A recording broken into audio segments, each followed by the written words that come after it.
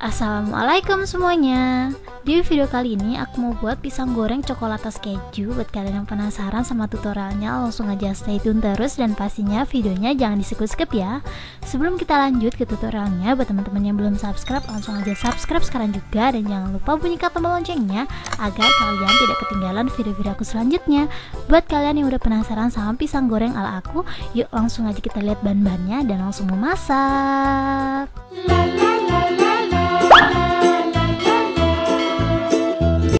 Untuk bahan-bahan yang kubutuhkan di sini ada pisang, terus di sini aku ada baking powder, telur ayam, kental manis, air bersih, coklatos, dan yang terakhir tepung terigu. Gampang banget ya teman-teman bahan-bahannya. Ini langsung aja kita pinggirin dulu. Untuk langkah pertama, di sini aku udah sediain wadah. Aku bakalan hancurin dulu pisangnya ya teman-teman ya. Untuk pisangnya yang aku hancurin cuma tiga buah aja. Dan ini kebetulan pisang aku tuh udah lumayan mateng, jadi agak gampang gitu ya teman-teman ya dihancurinnya. Kalau menurut kalian pisang kalian tuh masih kayak fresh gitu, kalian ngancurinnya pakai blender biar nggak terlalu keras-keras banget. Ini yang tiga langsung aja aku hancurin pakai whisker seperti ini. Pokoknya kita hancurin sampai dia lumayan halus ini untuk pisangnya aku pakai pisang kepok tapi kalau kalian nggak punya pisang kepok bisa pakai pisang yang ada di Indomaret kayak pisang buah gitu. Pokoknya disesuaikan aja sama pisang yang ada di rumah kalian.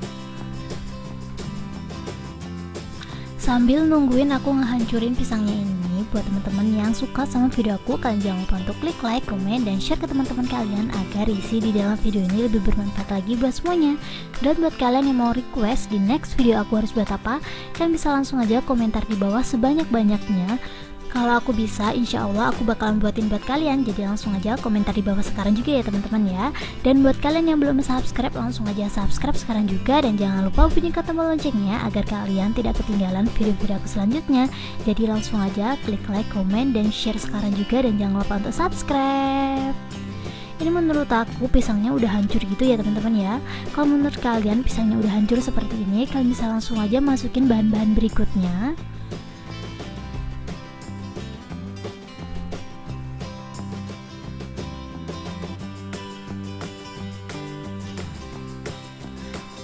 bahan berikutnya di sini aku ada kental manis karena aku nggak ada yang sasetan jadi di sini aku takar satu centong sup seperti ini ya teman-teman ya. Ini kurang lebih satu saset gitu. Kalau kalian suka manis bisa ditambah.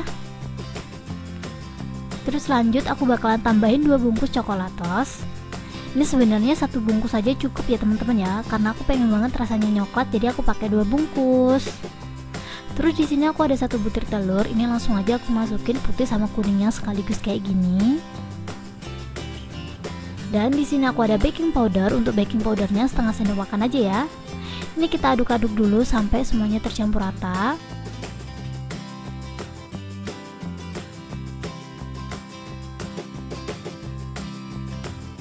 Kalau menurut kalian udah tercampur rata seperti ini, kalian bisa langsung aja masukin tepungnya. Untuk tepungnya di sini aku pakai tepung terigu kurang lebih 150 gram.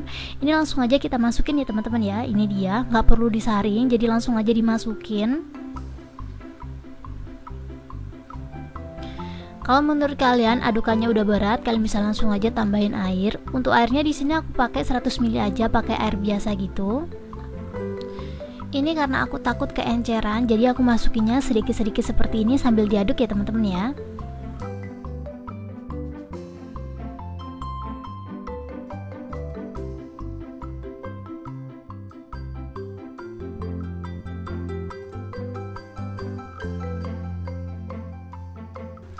Untuk bahan opsionalnya di sini aku ada garam. Kalau kalian nggak suka makanan dikasih garam seperti ini, ini nggak perlu dikasih ya teman-teman ya. Di sini aku bakalan kasih garam sejumput aja, kurang lebih disesuaikan aja sama selera kalian. Terus kita aduk-aduk aja sampai semuanya tercampur rata. Dan untuk yang terakhir banget, aku bakalan tambahin pisang yang aku bakalan potong-potong dadu gitu. Ini untuk pisangnya yang aku potong-potong dadu itu kurang lebih tiga buah ya teman-teman ya. Tapi kalau kalian suka pisang ini bisa ditambahin untuk potongan dadunya seperti ini aja nih. Ukurannya nggak perlu kecil atau besar-besar banget jadi pokoknya secukupnya aja. Aku bagi empat seperti ini setelah itu aku potong-potong aja. Tuh kayak gini aja ya teman-teman ya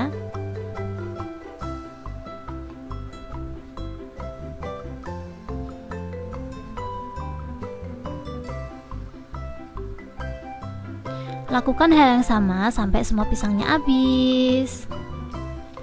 Ini aku cuma pakai tiga pisang aja ya teman-teman ya. Jika menurut kalian pisangnya udah masuk semuanya, kita bisa langsung aja goreng. Ini aku aduk-aduk bentar, jadi nanti biar tinggal langsung aja digoreng gitu.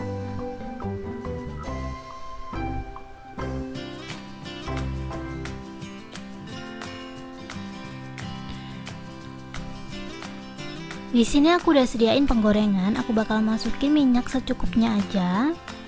Jangan terlalu banyak-banyak ya teman-teman ya.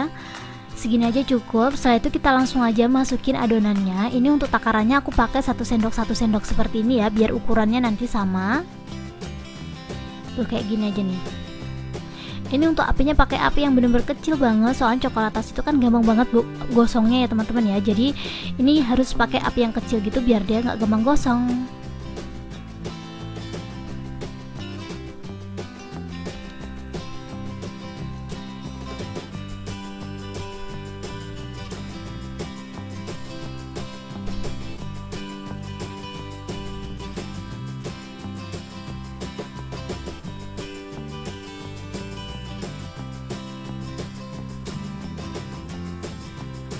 ini jangan lupa sambil dibalik-balik terus supaya matangnya merata gitu ya teman-teman ya.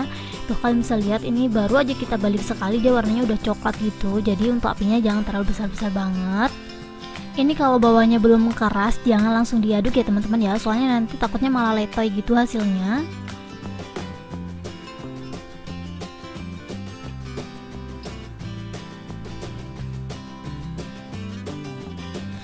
kalau menurut kalian ini tuh udah matang ini untuk matangnya aku nggak terlalu ada referensi ya teman-teman ya. Soalnya warnanya udah coklat banget kayak gini pokoknya dipasin lagi dalamnya udah matang langsung aja kita angkat dan tiriskan.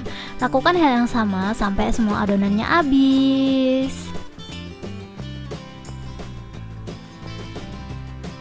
Dan ini dia hasilnya setelah aku goreng semuanya. Jika menurut kalian udah digoreng seperti ini Kita bisa langsung aja sajikan. Ini kalau dijual per porsi dikasih 5 buah seperti ini aja ya teman-teman ya. Ini 5 buah aja udah banyak banget gitu. Dan ini bisa dijual harga 7000 Buat kalian yang penasaran sama detail harga Kalian bisa langsung aja cek di deskripsi box aku. Aku bakalan tulisin lengkap di situ dan ini dia hasilnya itu 5 bungkus masih ada lebih sedikit gitu ya teman-teman ya. Cuman karena nggak cukup jadi aku buat 5 porsi seperti ini aja. Dan untuk toppingnya di sini aku bakalan kasih topping keju aja. Tapi kalau kalian pengen pakai coklat bisa aja tapi disesuaikan aja ya teman-teman ya. Soalnya kan pisangnya udah coklat jadi untuk toppingnya aku bakalan pakai keju aja biar rasanya nggak nyoklat banget. Ini kejunya aku ngasihnya banyak nggak pelit-pelit banget gitu kalian bisa lihat dan ini dia hasilnya setelah aku kasih keju semuanya biar tambah mantul aku bakalan tambahin kental manis ya teman-teman ya. Ditambahin kental manis seperti ini aja biar rasanya tuh tambah endol gitu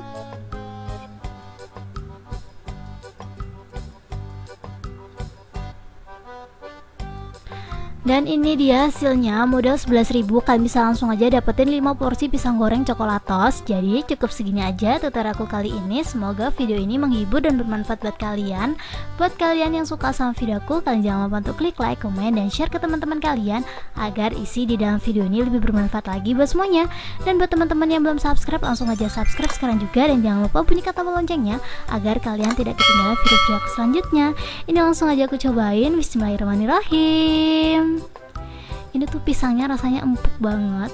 Bener-bener kayak empuk dan lumer gitu loh teman-teman. Buat kalian yang penasaran langsung aja cobain di rumah dan dipraktekin sekarang juga ya teman-teman ya. Ini tuh coklatasnya bener-bener mantul abis jadi kayak berasa gitu. Wow ini tuh enak banget sih. Langsung aja dicobain di rumah. Terima kasih banyak buat teman-teman yang udah menonton video aku sampai habis. See you ya di next video. Thank you thank you thank you